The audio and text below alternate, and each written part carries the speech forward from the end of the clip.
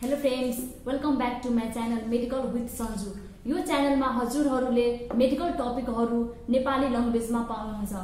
Today topic is fetal skull यो चाहिँ fetal skull हो.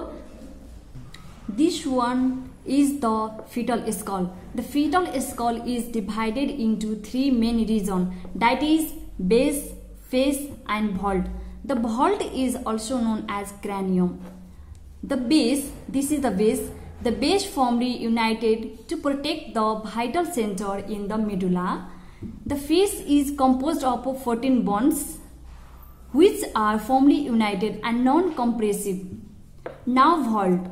The vault is dome shaped and it consists of seven bones. That is two frontal bones. This one is frontal bones, two parietal bones, two temporal bones, temporal bones and one occiput bones.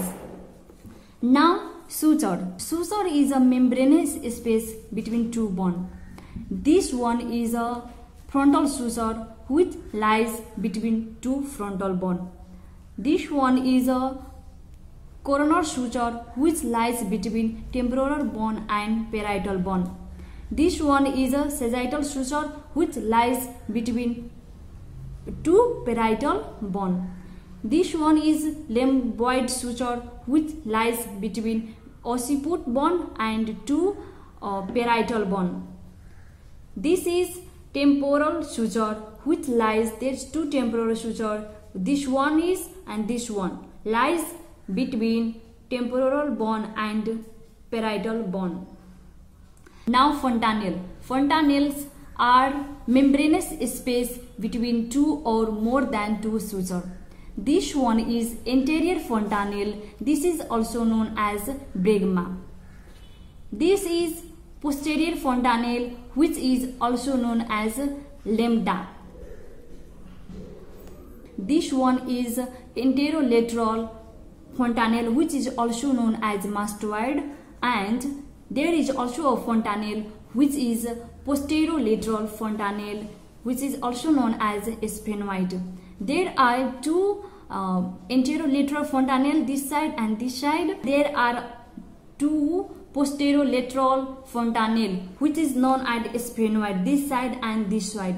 One is bregma, lambda and two anterolateral and two posterolateral. यो anterior fontanelle जसलाई bregma भन्दछ यो ब्रेगमा diamond सेपको हुन्छ र यो चाहिँ फोरवटा सुचरले बनेको हुन्छ कुन कुन frontal suture coronal sutures two coronal sutures and sagittal suture यो डायमन्ड सेपको हुन्छ र यसको मेजरमेन्ट भन्दाखेरि three to four centimetre long and one point five to two centimetre wide हुन्छ। यो चाहिँ अठार मन्थ पछि क्लोज हुन्छ after the birth now lambda posterior fontanelle this is a kite shape अब हामी हेरौँ फिटल स्कलको ल्यान्डमार्क छ फर्स्टमा अब यतादेखि हेरौँ यो भनेको चाहिँ यो उठेको भाग चाहिँ ओसीपुट हो र ओसीपुट भन्दा तल सब ओसीपुट हुन्छ। सो सब ओसीपुट त्यसपछि ओसीपुट त्यसपछि पोस्टेरियर फन्ट पोस्टेरियर फन्टानेल डाइन पेराइटल इमिनेन्स पेराइटल बनमा उठेको दुईवटा यो चाहिँ पेराइटल इमिने पेराइटल इमिनेन्स डाइन भटेक्स त्यसपछि चाहिँ ब्रेकमा आयो हाम्रो यो। जसलाई एन्टेरियर एन्टेरियर फोन्टानेल पनि भन्दछ। त्यसपछि सेन्सिपुट सेन्सिपुट यो भयो जुन चाहिँ फोर हेड पनि यसलाई भन्दछ। त्यसपछि ग्लाभिला ग्लाभिला भनेको यहाँ हुन्छ दुईवटा एब्रोको बिचमा भएको ग्लाभिला त्यसपछि न्याजन न्याजन भनेको दुईवटा आँखाको बिचमा भएको। त्यसपछि फेस आयो। फेसपछि चिन। चिनलाई मेन्टम भन्दछ। र तल। तल मेन्टम भन्दा तल चाहिँ सब मेन्टम हुन्छ। यो थियो हाम्रो ल्यान्डमार्क्स अफ द स्कल हामीले के हेऱ्यौँ? फिडल स्कलमा फिडल स्कल्सलाई थ्री मेन रिजनमा डिभाइड गरिएको छ। जुन चाहिँ बेस फेस एन्ड भल्ट हो भल्टलाई क्रानियम पनि भन्दछ अब यो बेस के हो?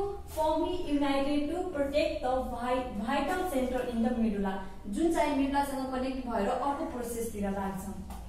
र फेस भनेको compose of fourteen bones which are firm united and non compressible हुन्छ। र भल्ट मेन चाहिँ हामीले चाहिने हो क्रानियम क्रानियम कस्तो हुन्छ? यो डोम सेपको हुन्छ। र योमा जम्मा सेभेनवटा बन हुन्छ। Two frontal two parietal two temporal and one occiput bone भयो अब सुचर सुचर भनेको membranous space between two or two bones on the vault or the cranium दुईवटा वनको वनको बिचमा भएको मेम्ब्रेनियस स्पेसलाई चाहे सुचर भन्दछ। कतिवटा सुचर हुन्छ? फ्रन्टल सुचर जुन चाहिँ दुईवटा फ्रन्टल वनको बिचमा हुन्छ। र कोर्नर सुचर जुन चाहिँ फ्रन्टल र पेराइटल वनको बिचमा हुन्छ। अर्को हो सेजाइटल सुचर सेजाइटल सुचर दुईवटा पेराइटल वनको बिचमा हुन्छ। र ड्वाइट सुचर भनेको दुईवटा पेराइटल वन र वन ओसिपुट वनको बिचमा हुन्छ। र टेम्पोरल वन भनेको टेम्पोरल वन र पेराइटल वनको बिचमा चाहिँ सिचुएटेड हुन्छ। अब फन्टानेल फन्टानेल भनेको के थियो? Membranous space where the two or more than two suture meet space हो जहाँ चाहिँ दुई वा दुईभन्दा बढी सुचरहरू चाहिँ मिल्ने गर्दछन्। फर्स्टमा के थियो इन्टेरियर फन्टानेल जसलाई ब्रागमा भन्दछ यो चाहिँ डायमन्ड सेपको हुन्छ र आफ्टर बर्थ एट्टिन मन्थमा चाहिँ क्लोज हुन्छ। पोस्टेरियर फन्टानियल जसलाई लेन्डा भन्दछ यो चाहिँ after birth six to eight विक्समा close हुन्छ। यो दुईवटा इन्टिरोलेट्रल जसलाई मास्टोइड र दुईवटा पोस्टेरियर लेट्रल जसलाई स्पेनोइड भन्छ यो चाहिँ अब्स्ट्रक्टिभ सिग्निफिकेन्स हुन्छ स्टेट्रिक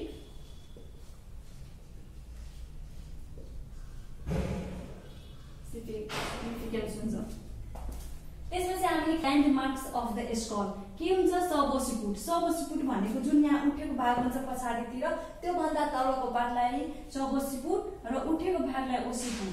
त्यसपछि पोस्टेरियर फन्टानियर भयो जसलाई ल्यान्डा पनि भन्छ र पेलाइटल इम्युनेन्स उठेको दुईवटा पेलाइटल बन्सको त्यसपछि यो भटेक्स भटेक्स भयो र ब्रेगमा इन्टेरियर फन्टानियर त्यसपछि सिन्सिपुट यो टाउको यसलाई फोर हेडलाई चाहिँ सिन्सिपुट भन्दछ।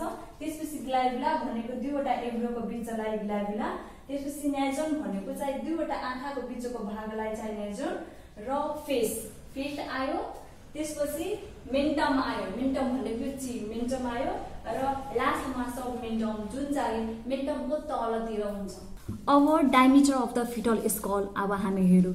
यसलाई दुईवटा डायमिटरमा डिभाइड गरिएको छ। एउटा चाहिँ ट्रान्सभर्स डायमिटर जुन चाहिँ यो डाइरेक्सनमा हुन्छ र अर्को चाहिँ इन्टेरियर पोस्टेरियर डायमिटर जुन चाहिँ यो डाइरेक्सनमा हुन्छ। फर्स्टमा ट्रान्सभर्स डायमिटरहरू यसमा के हुन्छ पहिला बाई प्याराइटल डायमिटर जुन चाहिँ प्याराइटल इमिनेन्सदेखि अर्को प्याराइटल इमिनेन्ससम्मको डिस्टान्सलाई डायमिटरलाई लिएको छ। यो चाहिँ नाइन पोइन्ट फाइभ सेन्टिमिटर हुन्छ।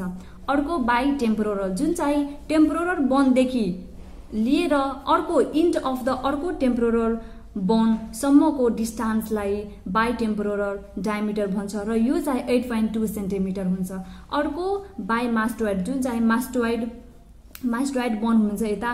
त्यो मास्टोइड बनदेखि लिएर अर्को मास्टोइड बनको सम्मको डिस्टान्सलाई बाई मास्टोइड भन्छ र यो चाहिँ सेभेन पोइन्ट फाइभ सेन्टिमिटर हुन्छ। अब इन्टेरियर पोस्टेरियर डायमिटर योमा के हुन्छ? तिन छवटा हुन्छ जम्मा। यो तिनवटा चाहिँ यता मिन्टमबाट लिएको छ र तिनवटा यता ओसीपुटबाट लिएको छ। फर्स्टमा हामी अब हेरौँ ओसीपुटदेखि। के हुन्छ फर्स्टमा? सब ओसिपिटो ब्रेगमेटिक हुन्छ। यसको measurement from the from below the occipital protuberance to the centre of the interior fontanelle यो चाहिँ नाइन पोइन्ट फाइभ सेन्टिमिटर हुन्छ। यसैलाई सर्टकटमा भन्दाखेरि एसओबी भन्छ। अर्को sub occipito frontal occipital प्रोटिपिडेन्सदेखि centre of the frontal suture यो फ्रन्टल सुचरको सेन्टरदेखि सेन्टरसम्मको डिस्टान्सलाई टेन सेन्टिमिटर लिएको छ। अर्को ओसिपुट फ्रन्टल जुन चाहिँ यो उठेको पार्ट ओसिपुट हो यो ओसिपुटदेखि लिएर ग्ल्याब्लासम्म यो एभ्रोको बिचको यो गिलाब्ला गिलाब्लासम्मको चाहिँ डिस्टान्सलाई इलेभेन पोइन्ट फाइभ लिएको छ। अब मेन्टमबाट हेरौँ। फर्स्टमा के हुन्छ? सब मेन्टो ब्रेगमेटिक जुन चाहिँ below the chin with the neck.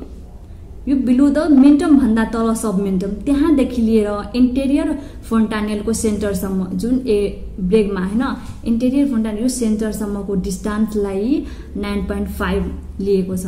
अब सबमेन्टम भर्टिकल जुन चाहिँ सबमेन्टमदेखि लिएर यो highest point of the vertex अथवा यसलाई इन्टेरियर फन्टानेल एन्ड पोस्टेरियर फेन्टानेलको सेन्टर बिच बिचको पार्टलाई पनि लिन सकिन्छ। यहाँदेखि लिएर यहाँसम्मको डिस्टान्सलाई distance eleven point five centimetre भयो।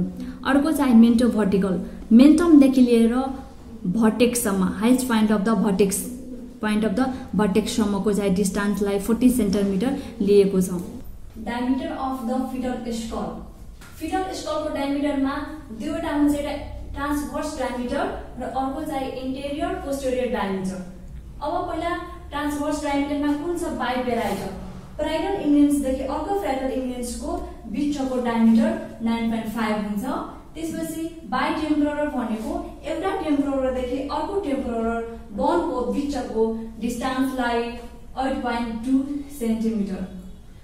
Bimastoid भनेको जुन मास्टोइड फन्टानेल थियो त्यहाँदेखि लिएर अर्को मास्टोइड फन्टानेलसम्मको डायमिटर सेभेन पोइन्ट फाइभ हुन्छ। अब अर्को इन्टेरियर पोस्टेरियर डायमिटरमा फर्स्टमा यसको तिनवटा छवटा हुन्छ जम्मा। तिनवटा यताबाट मेन्टमबाट र तिनवटा ओसिपुटबाट। फर्स्टमा ओसिपुटबाट हेरौँ के छ? सब ओसिपिटो ब्रेगमेटिक यो हुन्छ नाइन पोइन्ट फाइभ यसलाई सर्कटमा एसओबी भन्छ। यो चाहिँ कहाँ देख्नुहुन्छ? बिलो द ओसिपुटल प्रोटिरेन्स जुन चाहिँ ओसिपुट हुन्छ ओसिपुटको तलदेखि अलिकता तल sub sub ओसिपुटदेखि centre of the interior fontanelle जुन ब्रेकमा छ ब्रेकमासम्मको डायमिटरलाई सब ओसिपिटो ब्रेगमेटिक डायमिटर भन्दछ।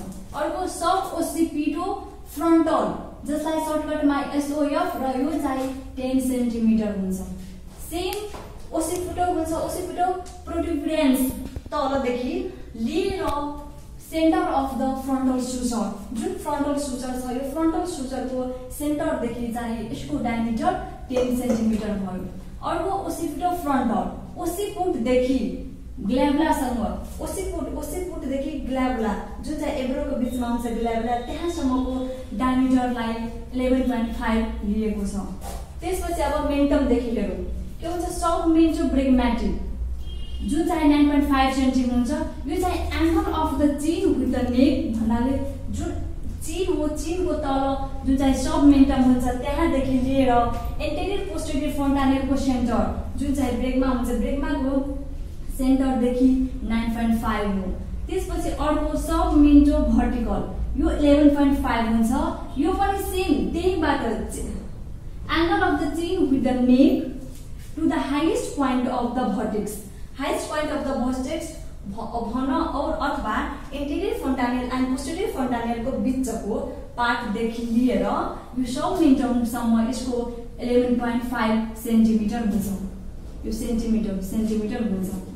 अर्को मेन्टो भर्टिकल यो चाहिँ फोर्टी सेन्टिमिटर हुन्छ। From the tip of the chin or the mentum to the point of the vertex same भर्टेक्सको बिचसम्म लिएर यो मेन्टल चिनसम्मको डिस्टान्सलाई लिएको छ जसलाई मेन्टो भर्टिकल भन्छ यो फोर्टी सेन्टिमिटर हुन्छ। यो डायमिटरहरू DC Dutta according to the DC दत्ताको अनुसार चाहिँ दिएको छ।